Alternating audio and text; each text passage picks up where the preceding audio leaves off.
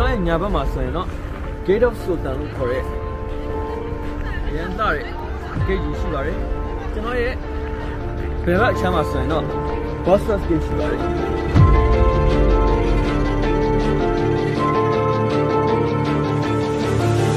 လမ်းတော် area က square meter 4000ဝယ်လောက်ရှိပါတယ်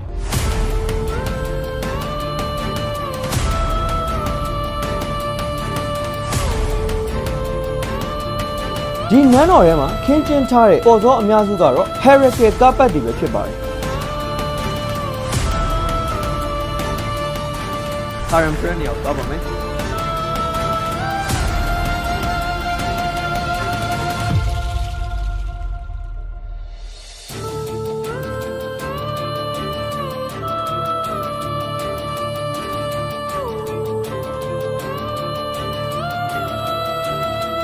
ပြင်ဘက်အချမ်းမရှိပါသေးတယ်အချမ်းမှာဒီထက်အများကြီးပို့ပြီးတော့စိတ်ဝင်စားစရာကောင်းတဲ့ history ရှိပါသေးတယ်ကျွန်တော်တို့အထဲတော့အတူတူပြီးတော့ဆက်ကြည့်ကြရအောင်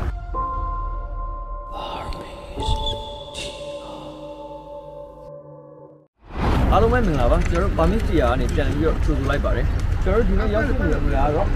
ဒေါ်လမာပါချေပဲလစ်လို့ခေါ်တဲ့ဒေါ်လမာပါချေနန်းတော်ပေါ့နော်နန်းတော်ရောက်ရှိနေတာပါဒီနေ့ကတော့တနင်္ဂနွေနေ့ဖြစ်တဲ့ပုံမှာလူရောတော်တော်လေးများပါတယ်ကျွန်တော်ဒီမှာဝင်ဖို့အတွက် အကုန်လုံးတက်စီနေကြတာပါ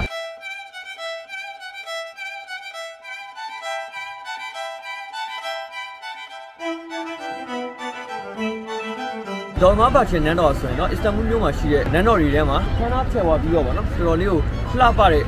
နန်းတော်တစ်ခုဖြစ်ပါတယ် location အဖြစ်ပြောမယ်ဆိုရင်တော့ basic test ဆိုတဲ့နေရာမှာတည်ရှိပါတယ် Bosphorus နဲ့ကက်ရက်တိဆောက်ထားတာပါဘဝတုဒ္ဒရစီဖို့အတွက်ကျွန်တော်တို့ဒီနေ့ထဲကိုဝင်ပြီးတော့တေးတေးချာချာလေးအသေးစိတ် လေးလာပြီးတော့အရှင်းပြရင်လည်းနန်းတော်ရဲ့တမိုင်းကြောင်းကိုမှတခါလေးဝင်မြပြီးတော့မှဖြစ်ပါတယ်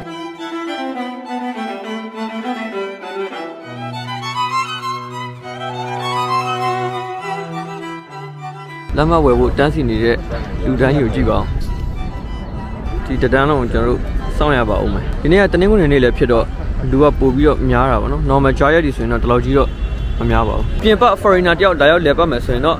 Turkish lira 200ကျတင်ပါတယ် သူတို့နိုင်ငံသားဆိုရင်တော့60ရာခိုင်နှုန်းတော့ discount ရတယ်ကျွန်တော်တို့ကတော့ចောင်းသားဆိုပြီးတော့ចောင်းသားကတ်ရယ်ကျွန်တော်တို့ရဲ့ resident permit ကတ်ရယ်ပြလိုက်တဲ့အပေါ်မှာចောင်းသား discount ရပါတယ်ចောင်းသား discount ဆိုရင်တော့ကျွန်တော်ဒါမျိုးကတ်လေးပေးပါတယ်တယောက်ကို Turkish lira 20ပဲကျတင်ပါတယ် normal လက်မှတ်ထက်ကျောင်းသားလက်မှတ်က10ဆလောက်တက်တာပါတယ်။သူကတော့ကျွန်တော်ဒီနန်းတော်ရဲ့အဝင်းထဲမှာရောက်နေပြီပေါ့နော်။ကျွန်တော်ရဲ့ညာဘက်မှာဆိုရင်တော့ Gate of Sultan လို့ခေါ်တဲ့အရန်လှတဲ့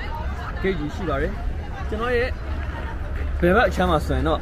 Bosphorus gate ရှိပါတယ်။ဒီနန်းတော်စပြီးတော့တိစောက်ခဲ့တာကတော့1843ခုနှစ်မှာစတင်တိစောက်ခဲ့ပါတယ်။1856ခုနှစ်မှာပြီးဆုံးပါတယ်။ပြီးဆုံးတဲ့အချိန်ကနေစတင်ပြီးတော့1889ခုနှစ်အထိကို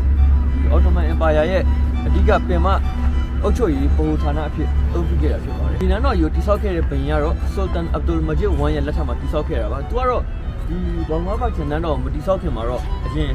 Top Copy Palace အဟောင်းမှာနေတယ်ပေါ့နော် ဒါပေမဲ့ Top Copy Palace ကတခြားသူ့ရဲ့ခေတ်ပြိုင်ဥရောပအဲဘရင်နန်းတော်တွေနဲ့ရှင်ပေါ့နော်ဒိတ်အောက်တယ်လို့ပြောလို့ရတယ်ပေါ့နော်အဲ့ဒီပုံမှာသူကဒေါ်မဘတ်ချန်တကယ်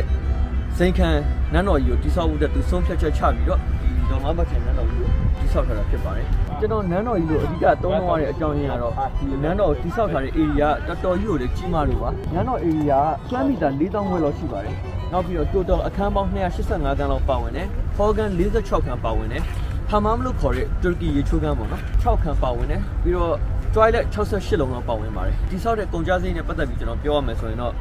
သူခေတုခါရဲ့ Ottoman ရွှေတင်းကား9သန်းလောက်အကုန်ကြခံပြီးတိဆောက်ထားတာပေါ့နော်ကာလာပေါက်ကြီးနဲ့ပြောမယ်ဆိုရင် American dollar 2 billion လောက်ကုန်ကြခံပြီးတိဆောက်ထားတဲ့နန်းတော်ကြီးဖြစ်ပါတယ် Bosphorus ရဲ့ကက်ရက်မှာရှိတဲ့တော်တော်ကောင်းမွန်တဲ့နေရာတစ်ခုမှာဒီမှာခန်းထားတဲ့နန်းတော်ကြီးတိဆောက်ထားတာဖြစ်ပါတယ်အရင်တော့ကတော့ဒီနေရာမှာအဲ အော်တိုမန်ခစ်တော်မှာနော်တမောစိတ်ကံဖြစ်အသုံးပြုခဲ့တာပါကြာလာပြီးတော့ဒီမှာအော်တိုမန်ဘရင်တွေကစမ်းမတွေပိုင်းမှာပေါ့နော်လာရောက်အနားယူတယ်ပင်လယ် view ကလည်းရှိရပုံမှာတော်တော်လေးလေးလှတဲ့နေရာပေါ့နော်အဲ့ဒီပုံမှာဘင်းတွေလာပြီးတော့အနားယူတာကနေပြီးတော့အစပြုပြီးတော့ကြာလာတော့သူတို့တဖြည်းဖြည်းပြုပြင်မုံမှန်ရင်လည်းနောက်ဆုံးဒီနန်းတော်ကြီးဒီနေရာမှာတိဆောက်ဖို့အထိဖြစ်လာခဲ့တာဖြစ်ပါတယ်အပြင်ဘက်အထက်မှာရှိပါသေးတယ်အထက်မှာဒီထက်အများကြီးပို့ပြီးတော့စိတ်ဝင်စားစရာကောင်းတဲ့ history ရှိပါသေးတယ်ကျွန်တော်တို့အထက်တော့အတူတူဝင်ပြီးတော့ထပ်ကြည့်ကြရအောင်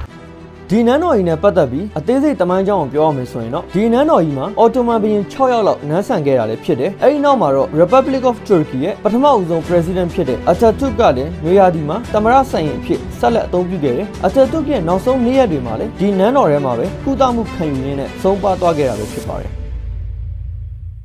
ဒီခမ်းမကြီးကတော့အကျယ်ဝန်းအဖြစ်2200 square feet လောက်ရှိပြီးတော့အမြင့်ဆုံးဒုံးအထိကိုတော့118ပေလောက်မြင့်ပါတယ်ဒေါ်မာဘာချင်နန်းတော်ဟာအဓိကအဖြစ်တော့ရွှေတွေခရစ်စတယ်တွေနဲ့အများဆုံးအလှဆင်ထားတာပါဒီမျက်နှာချက်ကိုကြီးပဲအလှဆင်ဖို့အတွက်ရွှေ14တန်လောက်အသုံးပြုခဲ့တယ်လို့လည်းသိရတယ်အဆောက်အုံတစ်ခုလုံးနဲ့ပတ်သက်ပြီးပြောရမယ်ဆိုရင်တော့ရွှေကီလို100ကျော်လောက်ထိအသုံးပြုပြီးနန်းတော်ကိုအလှဆင်ထားတာပါ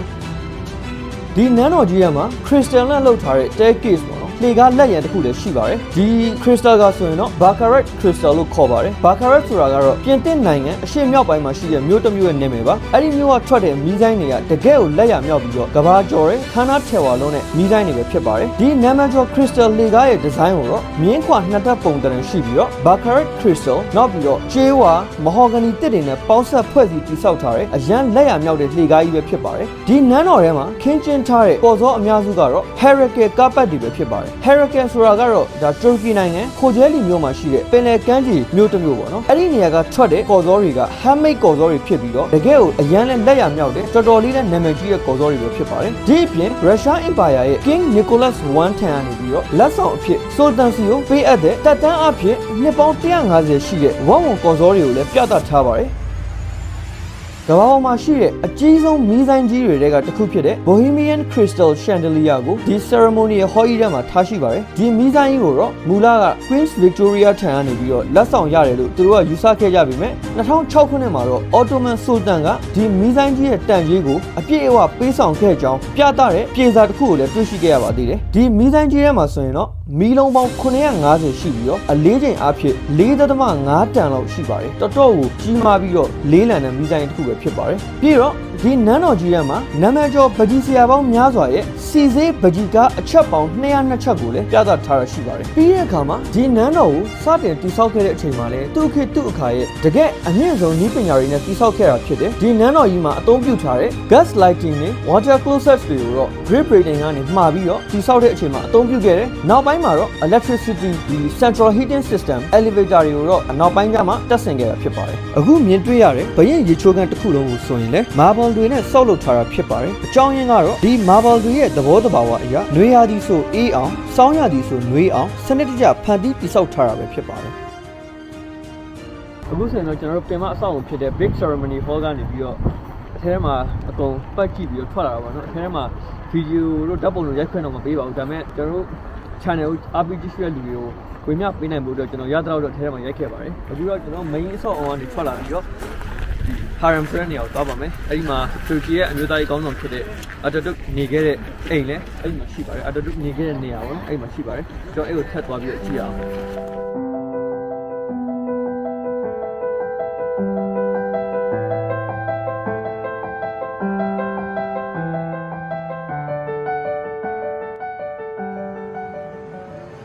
ဒီ harem လို့ခေါ်တဲ့အဆောက်အုံကတော့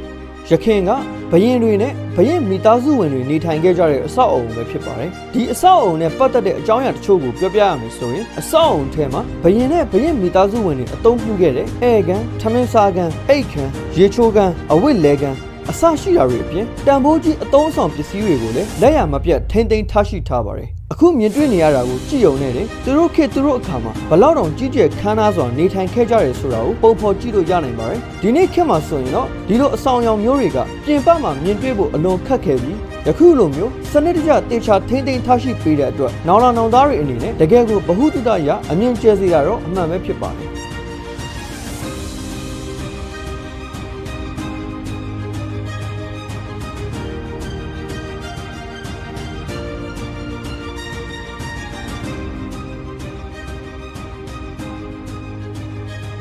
တူရကီနိုင်ငံရဲ့ပထမအဦးဆုံးသမ္မတဖြစ်တဲ့အတာတုဆုံးပါသွားတဲ့အခန်းမှာဆိုရင်လေဂရင်တွေသုံးဆောင်ပစ္စည်းတွေကိုယနေ့အချိန်ထိခြေရလက်ရမပြတ်ထိမ့်သိမ်းထားရှိပါတယ်။အဲ့ဒီထဲမှာထူးခြားတာတစ်ခုကတော့သူဆုံးပါသွားတဲ့အချိန်ဖြစ်တဲ့မနက်9:05မိနစ်ကိုရည်ရွယ်ပြီးအခန်းထဲမှာရှိတဲ့နိုင်တွေအားလုံးကိုအဲ့ဒီအချိန်တိုင်းရပ်တန့်ထားရှိထားပါတယ်။ဒါပေမဲ့အဲ့ဒီအခန်းကလုံခြုံရေးအလွန်တင်းကျပ်ပြီးဗီဒီယိုရိုက်ကူးခွင့်မရခဲ့တာကြောင့်ဘ ഹു တုတအနေနဲ့ထည့်သွင်းပြောပြပေးလိုက်ရပါတယ်။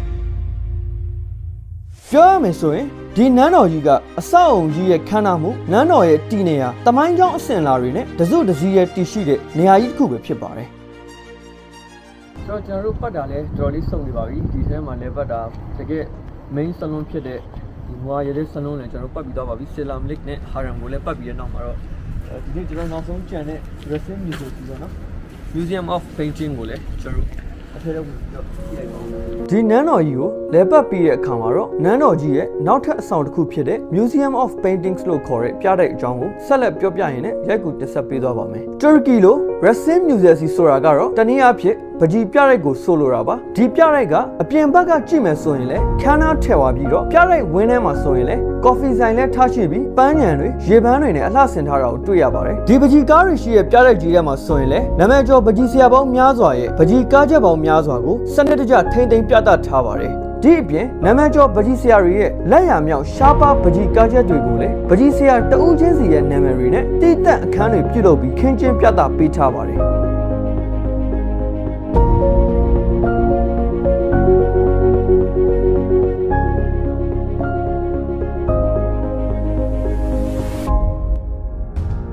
ဒီပြတဲ့ဒီတစ်ခုလုံးရဲ့အထက်ထဲမှာအမှောင်ချထားပြီးတော့အထူးပြုလုပ်ထားတဲ့မီးရောင်တွေနဲ့သာပကြီးကားတွေကိုအလင်းပေးပြသထားပါတယ်ပြောရမယ်ဆိုရင်တော့ပြတဲ့ထဲမှာပကြီးကားတွေကိုသာဓာတ်ပုံရိုက်လို့ရတာဖြစ်ပြီးပကြီးကားနဲ့အတူအလှဓာတ်ပုံရိုက်တာတို့အခန်းတွင်းဗီဒီယိုလှည့်လည်ရိုက်ကူးတာတို့ဆိုရင်တော့ထင်ထင်ရှားရှားမြင်ရမှာတော့မဟုတ်ပါဘူးဒီပြလိုက်ကလည်းစိတ်ဝင်စားစရာကောင်းပြီးတမှုထူးခြားတဲ့နေရာတစ်ခုဖြစ်တာကြောင့်ဒေါ်မဘာချေနန်းတော်ကြီးကိုလာရောက်တဲ့အခါဒီ Museum of Paintings ကိုလည်းတပါးတည်းလာရောက်လည်ပတ်ဖို့ကျွန်တော်အနေနဲ့ကြံပြုလိုပါတယ်